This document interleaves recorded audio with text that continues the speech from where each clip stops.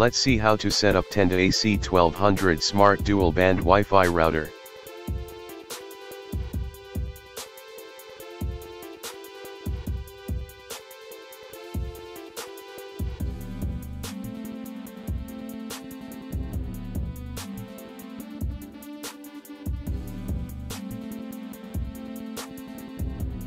Now connect the internet cable between Wi-Fi router and ONU.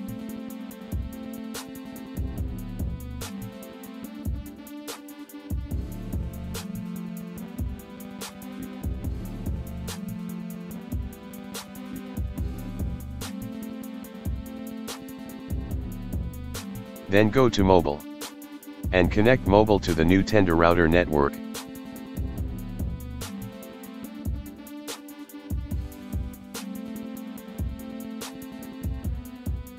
This is the name of your Tenda router Wi-Fi network.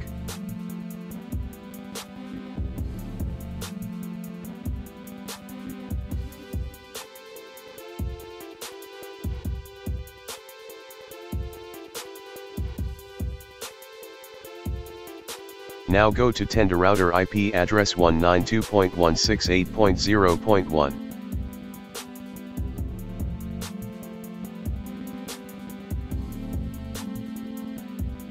Now select your connection type. I have an ISP connection. So I select PPPoE. Then you need to enter your username and password which is provided by the internet service provider.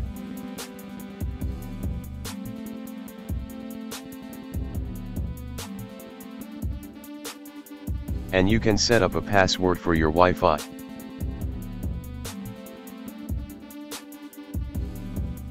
Then you can change the Wi-Fi name of the router.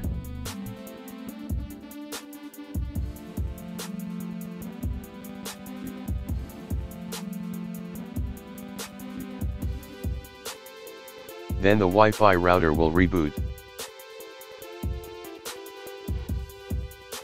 Now go to mobile Wi-Fi settings. And this is your new Wi-Fi network.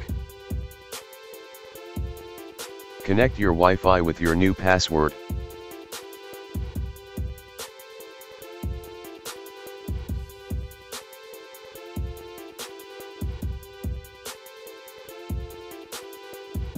Now all the setup is complete and it is working. Thanks for watching. If you like our videos, please subscribe.